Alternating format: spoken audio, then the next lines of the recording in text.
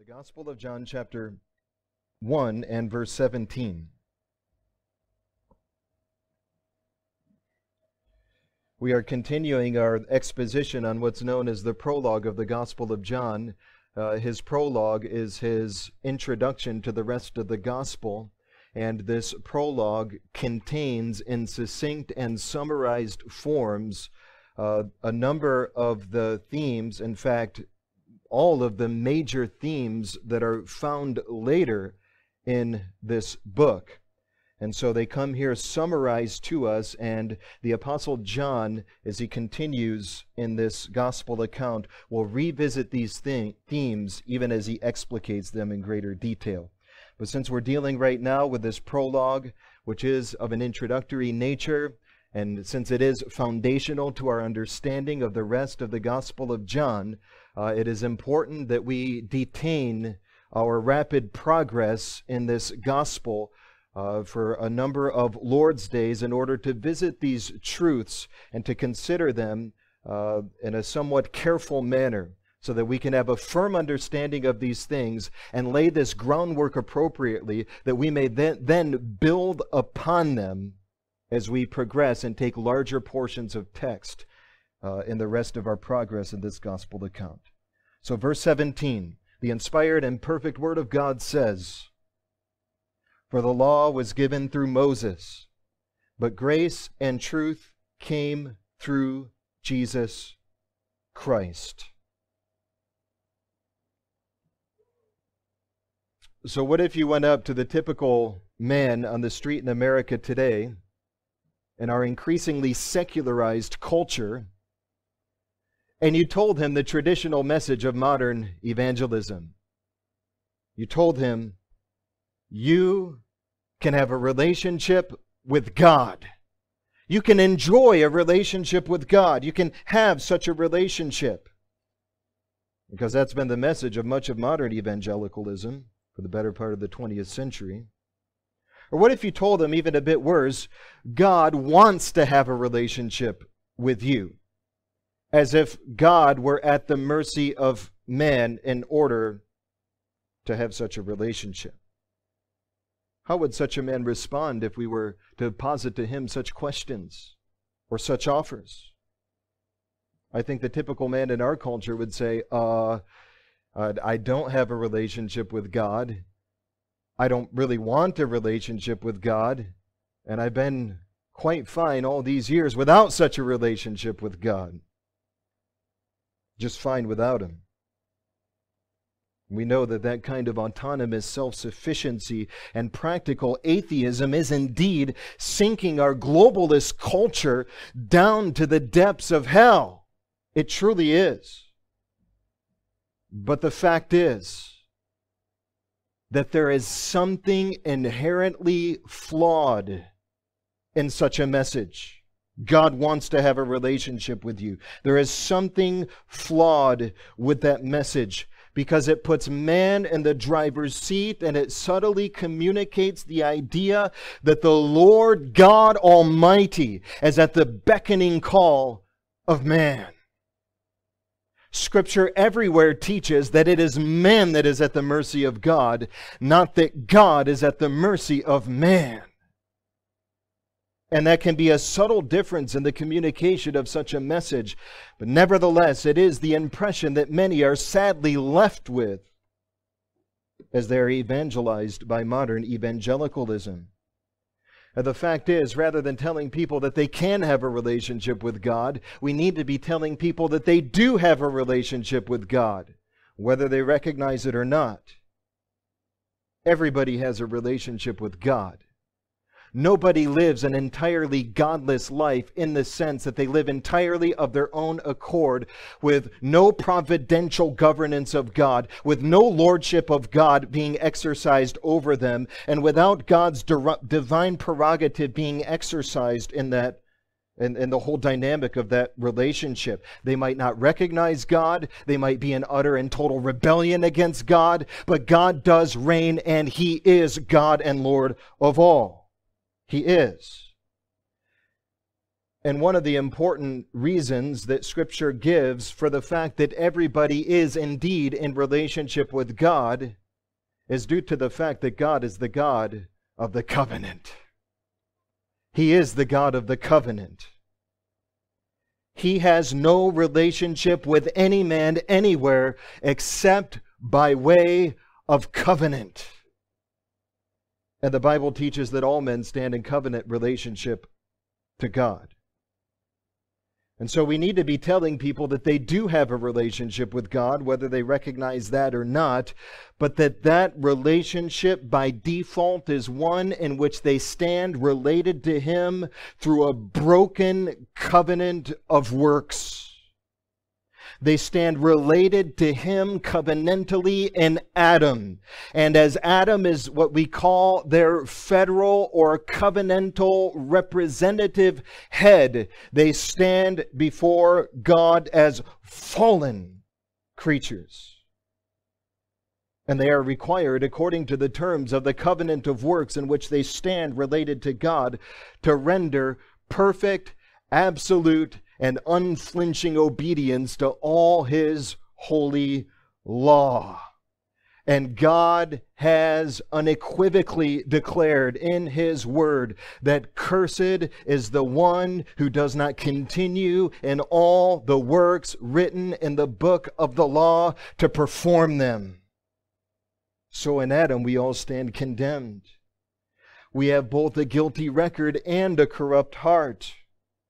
And only in Christ can we receive from his fullness what Calvin called the duplex gratia, the twofold grace of justification by which we receive the forgiveness of sins, and sanctification by which we are internally renewed into the image of God. Only in Christ can we receive that grace. The gospel holds out to us the offer that we may have our covenant relationship with Adam judicially absolved by the death of another, so that we may then pass and enter into a new covenantal relationship with God, even a new covenant of everlasting grace and salvation. In other words, we may pass from a bad relationship toward God to one in which God declares us mercifully to be accepted in the beloved. So the question is not whether you have a relationship with God. The question is whether you have a good relationship or a bad relationship with God. But everyone has a relationship with God, and all have to do with the great one who rules the world. And since God always operates by way of covenant in his relationship with man, the fact is that the Bible, the whole history of the Bible, is the story of the covenant. Even when God made man, not only did he enter into a covenantal relationship with man by his merciful condescension, what we call the covenant of works, or the covenant of creation, but God also ordained that the most intimate relationship that would exist between human beings, namely the intimate communal bond of the marriage of a man and a woman, which is the very foundation of society, the backbone of the family is the foundation of society of God's society as He established it in our world, God ordained for that relationship to be one of covenant. Covenant. And so, covenant is very front and center as the foundation of society. It's very prominent in human relations. It's very prominent in all of God's dealings with the world. And again and again, God, of his own sovereign initiative and gracious love, he enters into covenant after covenant with man. Not only the Adamic covenant, but also the Noahic covenant, the Abrahamic covenant, the covenant with the Levitical priesthood for the line of Phinehas, the Davidic covenant, and even the new covenant, time and time again, God is, by his own accord, according to his own mercy, entering into these covenant relationships with man. even our Bibles themselves are fundamentally uh, divided into two parts, what we call the Old Testament and the New Testament, or properly speaking, the Old Covenant canon and the New Covenant canon of Scripture. The very construct of covenant does definitively determine the very structure of the canon of the Word of God as that comes to us. So, covenant can be seen all over the place in God's dealings. And in our text, the Apostle John, as he introduces us to the message of the gospel, he does so by framing that message within the context of God's covenantal dealings with man. And the central message of this text is that Jesus Christ is the great consummator and perfecter of all of God's covenantal dealings. We've spoken of a manifold glory of Christ that is disclosed in this prologue to John's gospel account. Well, now we come to that distinctive glory of Christ as Christ is set forth as the great consummator of God's covenantal dealings. So the text says, we read it again For the law was given through Moses, but grace and truth came through Jesus Christ. So let me just state what the text means and then we'll put it in its context and seek to work through it to explicate it in more detail. And the sense is this to offer a loose paraphrase of the text here. Through Moses was given the revelation of God, but Christ came to reveal God most fully and to secure salvation in fulfillment of all previous covenantal anticipation. And again, let me just repeat it so we don't miss it. Through Moses was given the initial, definitive, and very glorious revelation of God. For the law was given through Moses. That's genuine divine revelation. But Christ came to expressly reveal God most fully and to secure salvation in a consummate manner by his living and dying and rising again in fulfillment of all of God's previous covenantal transactions and as the full fulfillment of all that those previous covenantal administrations prophetically anticipated. Therefore, the law of Moses and the sense in which the apostle is speaking of the law of Moses here in this text is incomplete without Christ. And to truly honor the law of Moses, one must come to honor and receive and even worship and adore the Lord Jesus Christ. Now, it's important to consider here how the apostle is using the term law as he refers to the law of Moses. Whenever we see the term law appear in Scripture, we need to ask ourselves in what sense is the term being employed? Because it's used in a number of different ways according to the broad semantic range of that term. Sometimes, when the New Testament speaks of the law, it has in mind purely the moral core of the law as it was revealed on Sinai, summarized in the Ten Commandments. And as such, when the New Testament uses the term in that way, it's referring to the immutable, that is, unchanging moral law of God that remains the same in every epoch of redemptive history and is never subject to change. Never, never. Sometimes when it uses the term law, it's referring merely to a principle, an operative principle that is at work in an efficacious manner. The Apostle Paul speaks in Romans chapter 7 of the law of sin that remains in his members. Well, the law of sin there is not the moral law of God.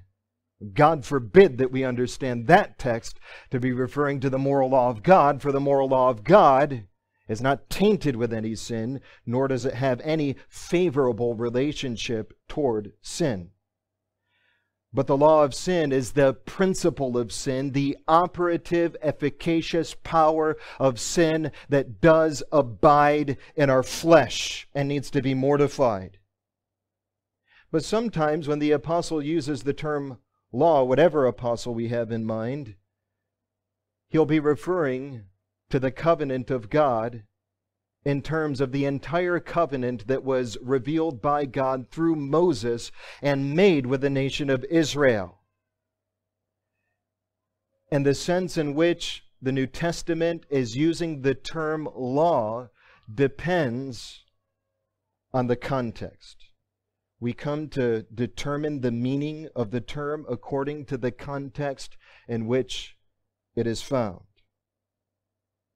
And so I think here there are a number of indicators that demonstrate that what he says, the law was given through Moses, what the apostle is thinking of is not the moral law, but rather it's the law consisting of the entire covenant that was initially made at Sinai and then formalized with the people of Israel.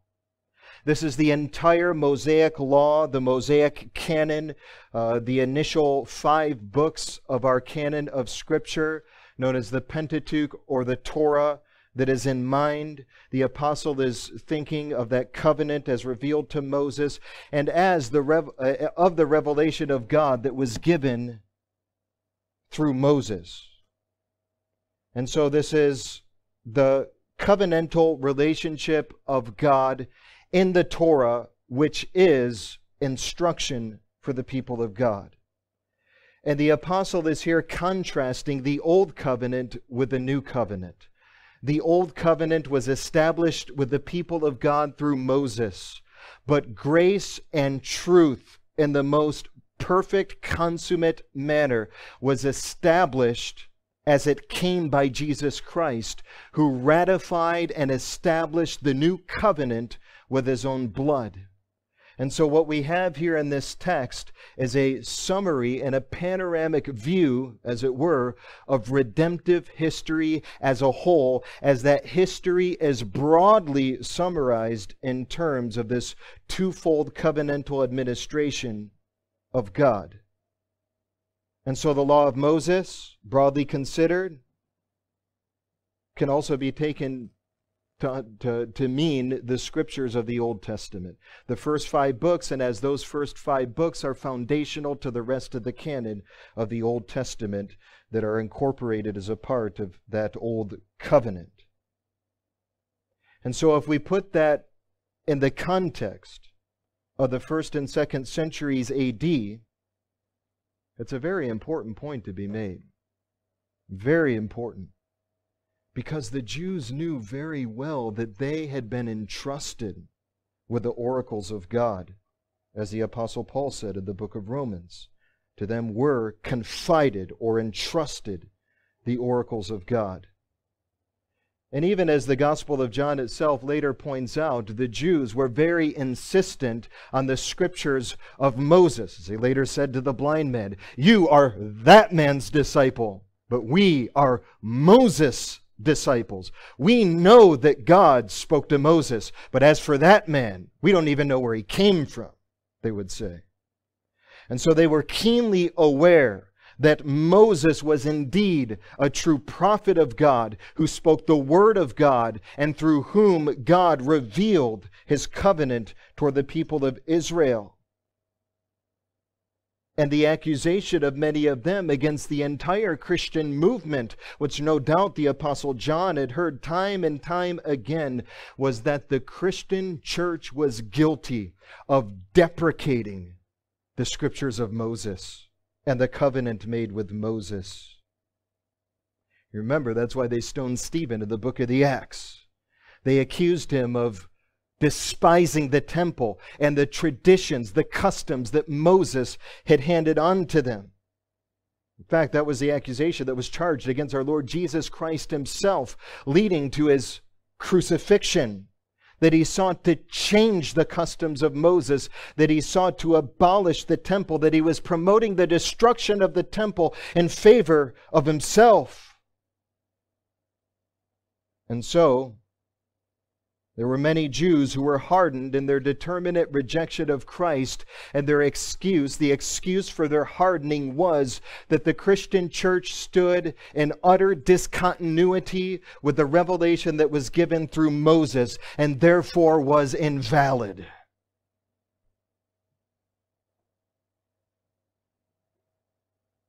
And so that's where the argument of John 1:17 comes in because it's saying, in essence, well, the law was given through Moses.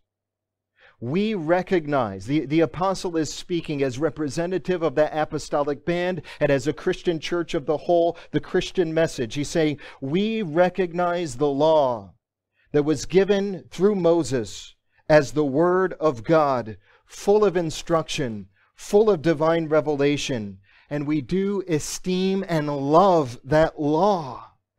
But it's because of our esteem for that law and because of our understanding of that law and its proper place in redemptive history and its proper application to us. Because of all that, we are followers of Christ, of this Jesus of Nazareth, because Jesus Christ is the one who fulfills the law of Moses. He's the one who ushers in the salvation realities that Moses foretold. So the Jews, it would seem, incessantly accused the Christians of disdain toward the law. But then the Christians responded and they turned that argument on its head, you see. And they argued that it was the Jews who rejected Jesus as the Messiah who were the ones who were truly guilty of disdaining the law of God because they failed to embrace the grace and the truth that the law prophetically anticipated and that had become redemptive historical reality due to the historic introduction and consummation of the work of the God man Jesus Christ. In the words of Jesus, who said to the very Jews of his own day who rejected him in John 5 39 to 40, You search the scriptures, for in them you think that you have eternal life, and these are they which testify of me. But you are not willing to come to me that you may have life.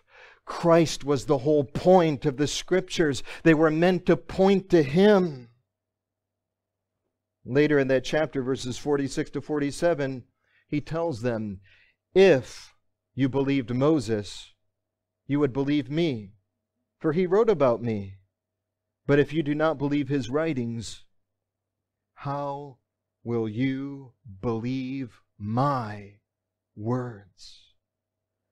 True saving faith in God through the scriptures of Moses will lead to the conscious recognition and confession of Jesus as the Christ, the Son of God, the Savior of the world. If you don't believe in Jesus, you've missed the meaning and the intent of the scriptures of Moses.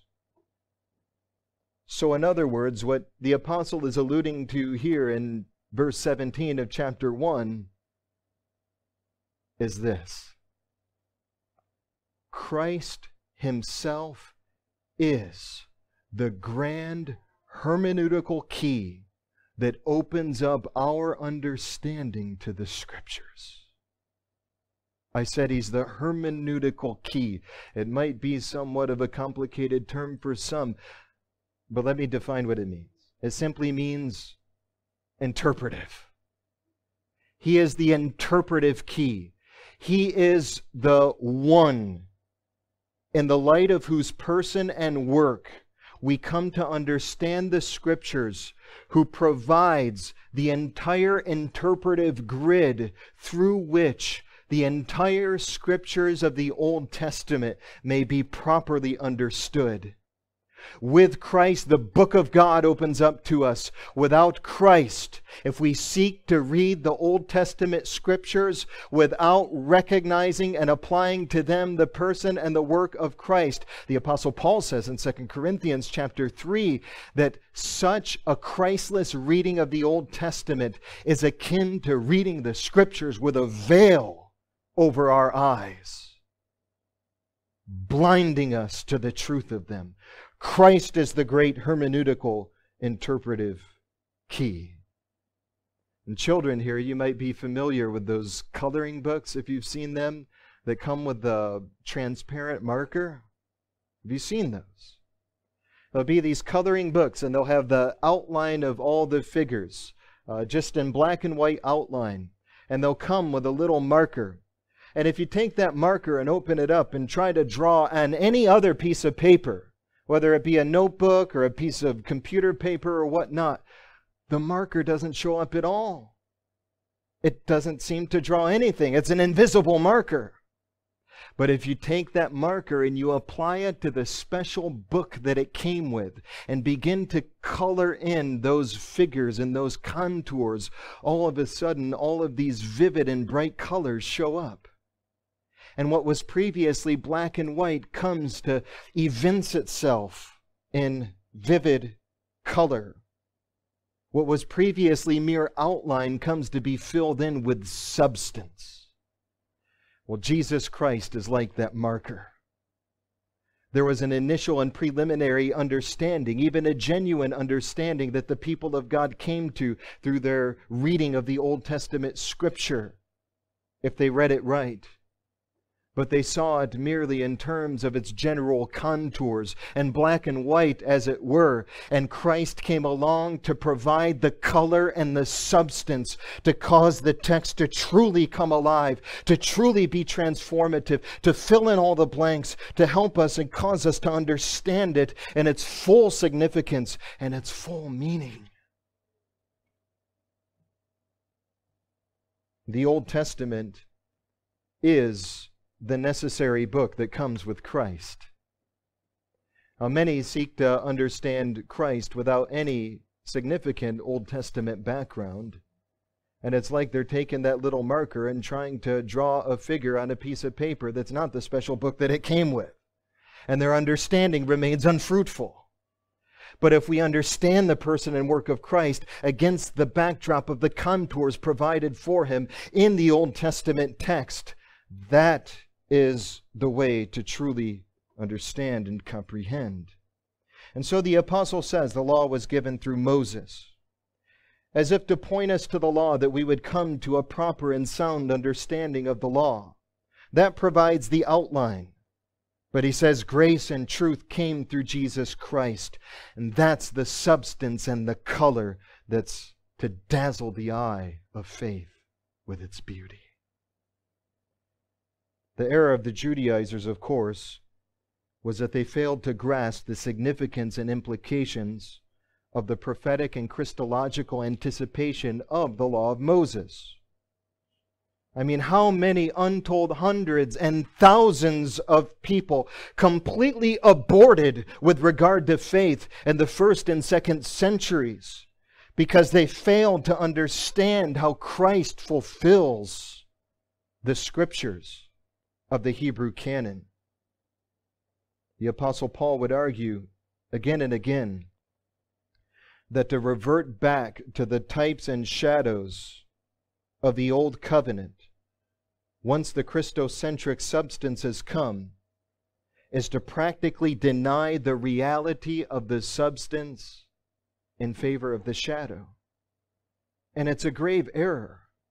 It's a grave error if we say that it's good to believe in the work of Jesus Christ and to deposit all of our faith and all of our hope into the bosom of the Son of God that we may be saved from him. But in addition to that, we must be circumcised to be saved. That's a grave error. Or in addition to faith in Christ, we need to observe a Passover meal, or we need to observe these old covenant uh, rituals and feast days and ceremonies and covenantal uh, ceremonial stipulations that pertained inherently to the law of Moses. Because to revert back to that shadow is to practically insult the greater reality and glory of the substance now that he has come. It would be, I suppose, like a woman who was newly married and loved her husband with all her heart, and he was truly her first love, and in their youth, he was separated from her and locked in some confinement camp, let's say under the totalitarian regime of some communist country. And she never saw him again for decades. And she would think, day after day and week after week, how she longed to see her beloved husband again. And she held out to, uh, faithful to him, hoping for that day to arrive. And then finally, she gets a letter to show up at such and such a certain place and that he would be released from his confinement. And so she goes to the place. And finally, as he is released and she sees his face for the first time in several decades, and in the joy of it, she runs up to him and she circumvents him and falls upon his shadow and begins to kiss and embrace his shadow and to speak to his shadow. And then, as the days and the weeks and the months go by, every time she speaks to him, she looks away from him onto his shadow, and she speaks and communes with the shadow. Now, what would such a man think? Would it not be an insult to the man? In the same way, to revert back to the shadow of the ceremonies that were peculiar to the Old Covenant administration, once the substance of the full, once the bridegroom has appeared on the scene, is to insult and practically deny the true presence of the bridegroom. And so it constitutes a basic practical denial of the sufficiency and fullness and glory of the gospel itself. And so there is a progression in redemptive history. From the incomplete to the complete, from the law of Moses to the grace and truth of Jesus Christ. John 1:17 is a short and simple text, quite straightforward in its clear declaration and yet profound in its implications and sadly often confounded in its interpretations. You know, there's a number of ways that this text has been traditionally understood. There is the disjunctive dispensational interpretation. Many of us have been exposed to that one. The old classical dispensationalists, like Scofield in his old reference Bible, would say that the law was given through Moses and that that in itself was the way of salvation as strictly considered according to its moral principle. And they would say that in the Old Covenant, men were saved by works, and in the New Covenant, were saved by grace. And so there is a disjunctive interpretation as if the Old Covenant is opposed to the New Covenant in Christ. And that's to completely confuse the whole issue, not to mention result in a false gospel as that gospel would have been understood uh, by the Old Covenant believer. Salvation was never by the works of the law. Salvation was never by man's own supposed obedience, which really is disobedience to the law. Others understand that in the antinomian way. The law was given through Moses, but grace and truth came through Jesus Christ. That view interprets the first and second clauses of the verse as two antithetical or even contradicting realities. They say the law was given through Moses, as if the apostle were saying it in a pejorative manner in order to disdain the law. The law was given through Moses, a bad thing, an undesirable thing something that's to be spurned, something that we are to cast off, something that we are no longer to look to for instruction in the will of God, much less for ethics. And so it's viewed with antipathy. And the law is seen as problematic, even cruel. And they understand the grace and truth of Christ to come in that view to replace the law to abolish the law and to even abrogate the law in favor of something much better as opposed to what was formerly bad. Now, the Apostle John is not saying that the new covenant came to establish good grace in the place of a bad law of God. That's an entirely wrong way to interpret the text. In fact, if that were the interpretation of the text, it would have given sufficient ground to the Jews who opposed the Christian message, who accused them of disdain toward the law of God. And that was never the Christian message. Christians did not hold Moses in contempt. Moses was not the bad guy. Moses is the friend of Christ. Moses was faithful in all his house, in the words of Hebrews chapter 3. We have great esteem and respect for Moses, and it is that esteem and respect that drives us to Christ. That disdain, in fact, is nowhere confirmed in the rest of John's gospel. Moses himself is mentioned 13 times in the gospel. Never once is he insulted or despised. He's always appealed to, normally in a favorable manner, that is.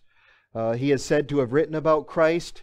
He is said to be the judge who will condemn the Jews of that generation who rejected Jesus as the Messiah chapter 5 verse 45 and the Jews were even directly indicted by Jesus for failing to keep the law of Moses in chapter 7 verse 19 so it's definitely not that a bad law is replaced by a good covenant of grace and truth but rather a very good law has been fulfilled by God's consummate manifestation of grace in Christ.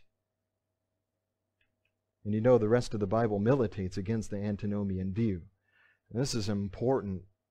Uh, this, this, is important to mention because uh, this kind of interpretation is so popular in our day. I mean, there are even many Calvinistic circles who do affirm the doctrines of grace, but deny the ongoing validity of the law. And they read redemptive history as if there is a great disjunctive and antithetical element between the covenants that pose them against one another. The law was not against the promises of God. And the law itself, especially when it comes to the moral principles of the law, they are eternally binding and unchanging. Jesus said, Do not think that I came to destroy the law or the prophets. I did not come to destroy, but to fulfill. Matthew 5 17. Paul said in Romans 3:31, "Do we then make void the law through faith? Certainly not. On the contrary, we establish the law." The gospel honors the law, establishes the law, confirms the law, does not abrogate the law, does not cast out the law, does not disdain the law. In fact, in Psalm 40, verse 8, the Messiah himself says, Thy law is within my heart. Isaiah 42, verse 21 says that in the times of the new covenant, that the Lord will exalt the law and make it honorable. Far from being disdained, it is magnified in the new covenant. Even the law in its commanding imperatival moral core is according to Romans chapter 7 and verse 12, holy and just and good. And so if we're ever tempted to view the law pejoratively, we must recognize that that is completely out of step with the whole spirit and tenor of the New Testament, not to mention the Old Testament and its inherent integrity. But there's another extreme. And the other extreme is on the other end of the spectrum as people approach this text. And it's the extreme that sees hardly any contrast in view at all. It's a view that flattens out the history of redemption. It says the old covenant of Sinai and the new covenant in Christ are essentially one and the same covenant, differing only in their mere external modes of administration. It says there are two administrations of the very same covenant, and it says that grace and truth belonged intrinsically to the old covenant and pertained to the very internal substance of that covenant as such. And with all due respect to our brethren who would hold such a view, we have to differ from it because we are persuaded that Jeremiah 31 and verse 32 speaks of a new covenant which is not according to the covenant that God made with Israel after the Exodus, because they continued not in his covenant, but did violate it. It was a covenant that differed substantially in terms of its essence because while the old covenant of Moses admitted members who participated in that covenant and pertained to that covenant who were unregenerate, the new covenant does not admit any such member. There are no unregenerate members in the new covenant according to Scripture, because all that pertain to the new covenant have the law of God written on their minds and in their hearts, that they may delight to the law of God by the regenerating work of the Spirit of God. And so, new birth is a necessary condition for entrance into the life of the new covenant. And so, while there are elements of important continuity between the law of Moses and the new covenant, there are also important elements of discontinuity that need to be taken into account. And so, the correct view of understanding this text and the affirmation of its two clauses is this not that the new covenant and the grace and truth of Christ repudiate the law of Moses that would be antinomianism.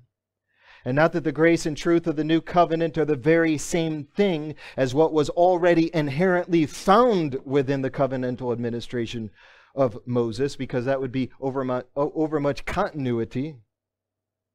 But the correct view is that the grace and truth of the new covenant fulfill and bring into redemptive historical fruition and consummate perfection all that was preparatory and predicted and anticipated in the law of Moses. And so there are things in common with the law of Moses and the new covenant, and there are also things that differ. And we need to recognize both of those things. So, what differed? What was it that differed? Well, I think in the words of John 1:17 it says grace and truth. Grace and truth came through Jesus Christ. The clear implication of the text is that grace and truth came through Jesus Christ in a manner in which they had not come through the law of Moses. Even in the words of Calvin himself in his commentary, he says, We must recognize the antithesis. And while we would, we gratefully respect uh, Calvin and uh, uh, we respect his view, but we would respectfully differ with him on his, the rest of his interpretation and application of that here. But he does say we must recognize the antithesis because there is something that is contrasted between the two clauses of this verse. Grace and truth came into manifestation through Christ in a way in which they had not existed as concrete, established historical reality under the law of Moses. And the way to understand that is like this. If you would accompany me to Romans chapter 3, I think this text is so clear. Uh, Romans chapter 3, a very important text in the New Testament.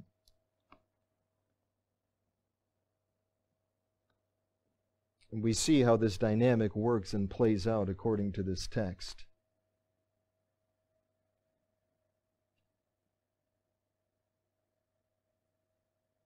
3 and verse 25, and it's speaking of Christ Jesus, whom God sent, set forth as a propitiation by his blood through faith to demonstrate his righteousness.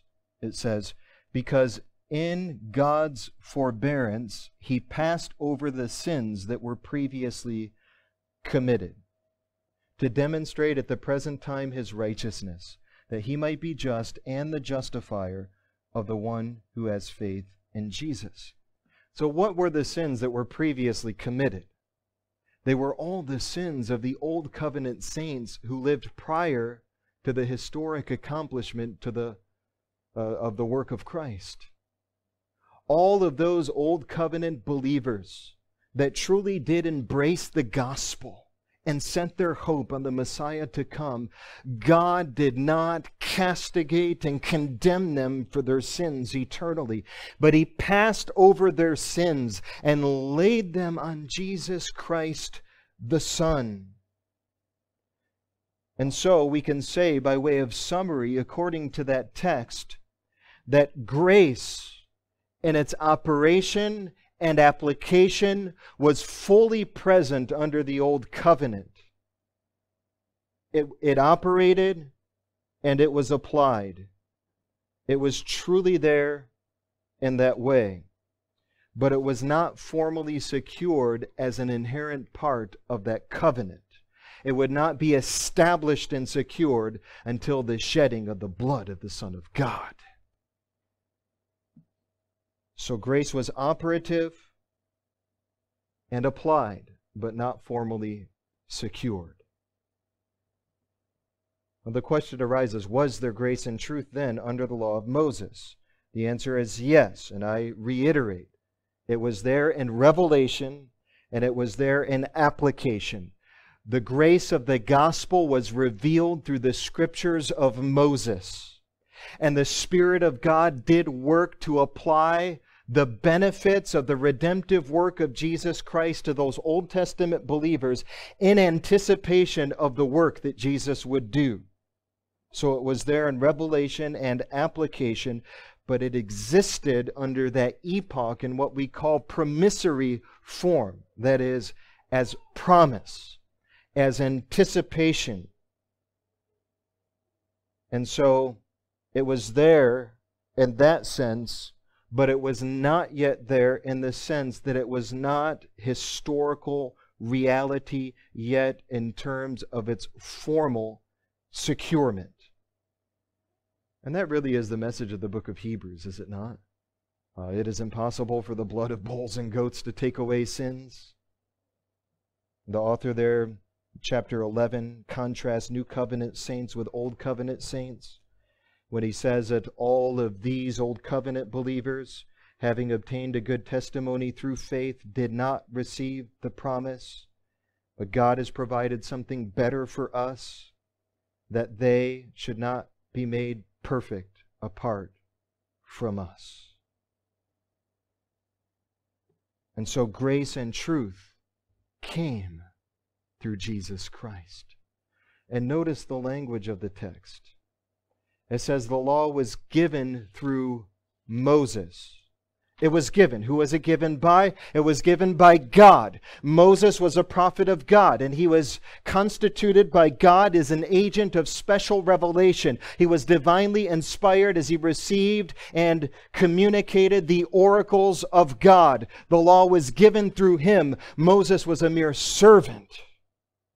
But grace and truth itself as to the saving substance of the reality of God's omnipotent power brought to bear in the gospel. Grace and truth wasn't merely given through Jesus Christ, grace and truth came through Jesus Christ, the text says. It came through him. The language is specific. And it's specific in that sense, so as if to communicate that the grace and truth themselves are inherent in Jesus Christ, and that as Jesus Christ comes, the saving grace of God and the truth of God and the saving power of God all come with Jesus Christ.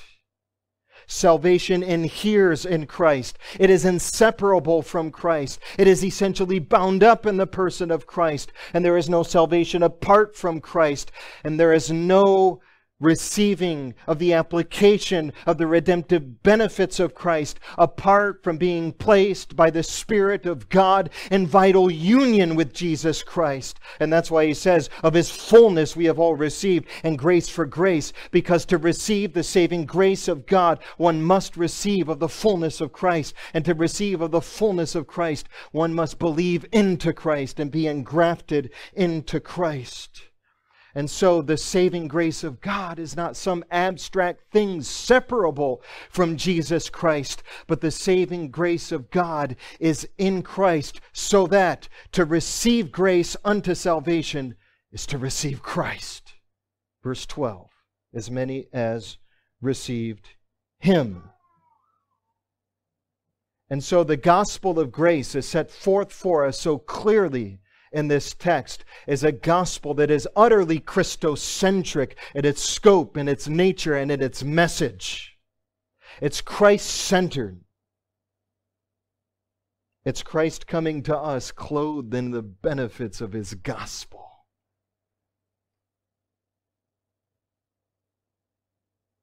And finally, just to point out one more thing that's so evident in this text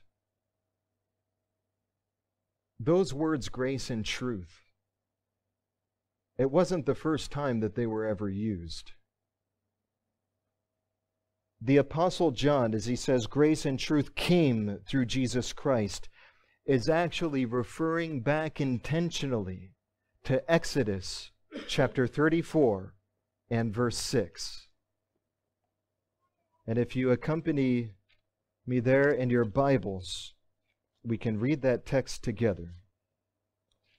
Exodus chapter 34. This is the most climactic revelation of God that was given under the Old Covenant. The fullest, most glorious revelation of God was not Mount Sinai per se and the giving of the Decalogue with the thunder from heaven and all that. But it's found here a bit later after Moses beseeched the Lord and said, Show me your glory. And as the Lord caused his glory to pass by him, it says he proclaimed in verse 6 The Lord, the Lord God, merciful and gracious long suffering, and abounding in goodness and truth, keeping mercy for thousands, forgiving iniquity and transgression and sin, by no means clearing the guilty, visiting the iniquity of the fathers upon the children and the children's children to the third and fourth generation. And Moses worshiped. John 1:17 is alluding to that specific phrase that's found at the end of verse 6 which says, abounding in goodness and truth. Abounding in goodness and truth. That word goodness that's used in Exodus 34 6 is chesed in the Hebrew, and it's a word that is notoriously difficult to translate for scholars. And so, as you read that word translated in different English versions, they translate it in different ways. Sometimes it's translated, as it often is in the King James and New King James versions, as simply goodness or mercy. The ESV translates it as steadfast love. It's goodness and mercy because it communicates God's goodwill and kind intentions toward his people. It's translated as steadfast love because that translation excels in communicating the enduring, unfailing, covenantal character of this quality in God. The NIV often translates it simply as love, but that's really inadequate because it goes beyond that. The NASB is probably the most precise translation available in English right now of that word, which usually translates it as loving kindness.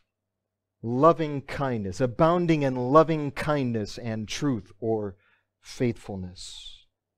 That term suggests both God's love and his benevolent exercise of that love and acts of redemptive kindness on behalf of his people. But even that fails to express the full import of that term as it appears in the scriptures. I think if I had to translate it, I would say covenantal loving kindness, or perhaps steadfast covenantal loving kindness. And even though it's multiple words in English, you really do need multiple words to express the sense of that Hebrew word that appears over and over again all through the Hebrew canon. Covenantal loving kindness because this term refers to God's salvific benevolence by way of redemptive covenant. That exact phrase, in fact, goodness and truth, hesed and truth, covenantal loving kindness and truth, found in Exodus 34 6, it appears over and over again throughout the Old Testament. The same phrase with the same syntax precisely the same because when it occurs subsequently in the unfolding of redemptive history, those subsequent occurrences are referring intentionally to that definitive climactic self revelation of God in Exodus 34. Psalm 25:10 says all the paths of the Lord are mercy and truth to such as keep his covenant and his testimonies. Or how about this one, Proverbs 16 and verse 6? In mercy, that's chesed, covenantal loving kindness, in mercy and truth, atonement is provided for iniquity.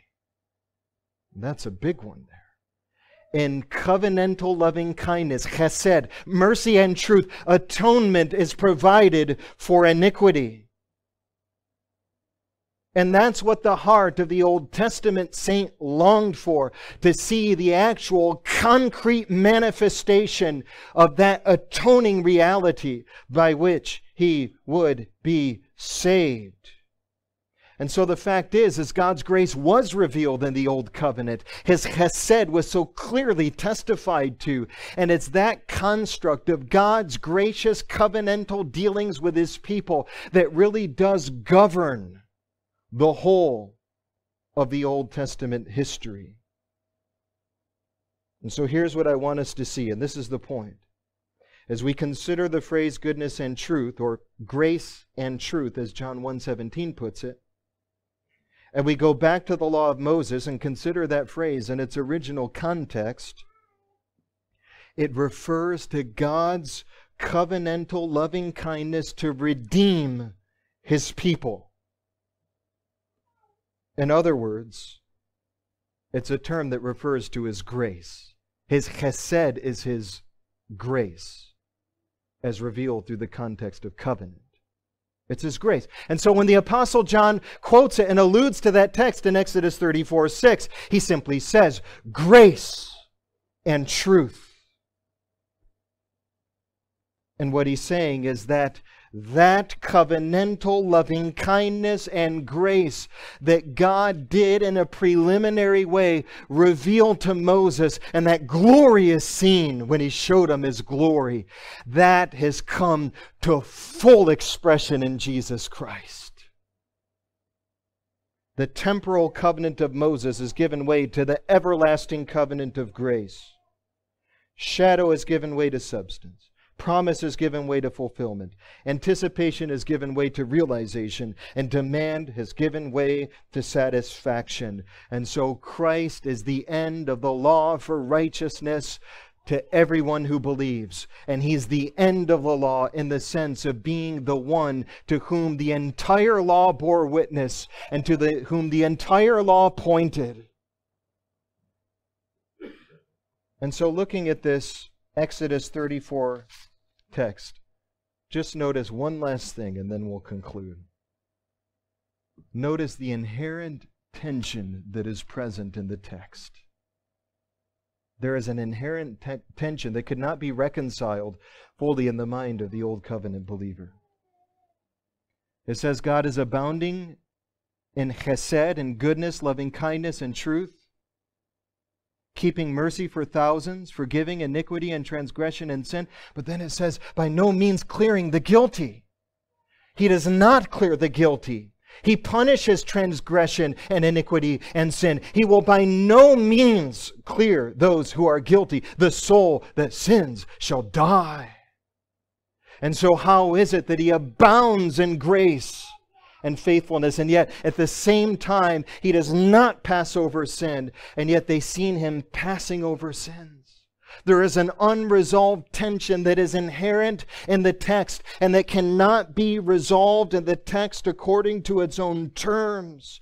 And that tension runs all the way through God's historical dealings with his people.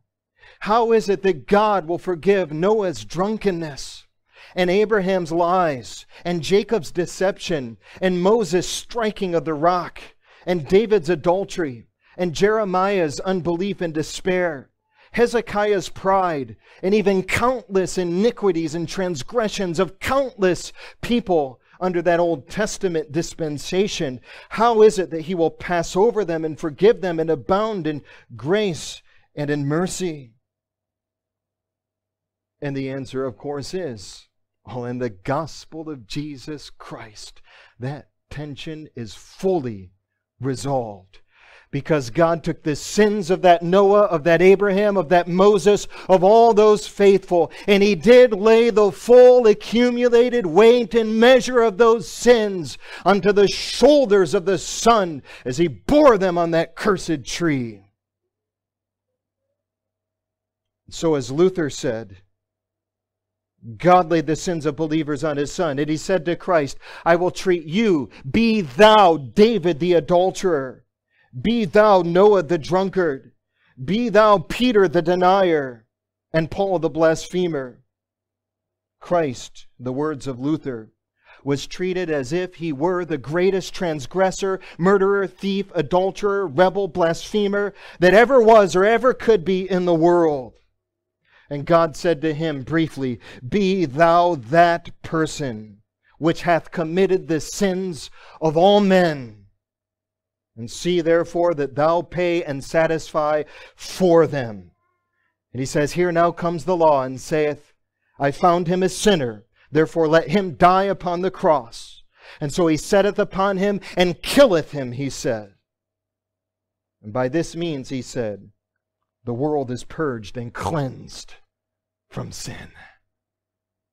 Because Christ did truly bear it Christ was treated as if the chief of sinners in order to resolve the inherent tension that is present in the Exodus 34 text and to consummately perfect the covenant and bring it into fulfillment of all that it promised. And so now all of the promises of God are in him, yes, and in him, amen, to the glory of God through the word of God all that God has promised is brought into concrete reality in Jesus Christ. And in him, mercy and truth have met together, and righteousness and peace have kissed. And so the law was given through Moses, but grace and truth came through Jesus Christ. Luther wrote to a friend and said, Learn to know Christ and Him crucified. Learn to sing to Him and to say, Lord Jesus, you are my righteousness. I am your sin. You have taken upon yourself what is mine and given me what is yours. You became what you were not so that I may become what I was not. That's good advice.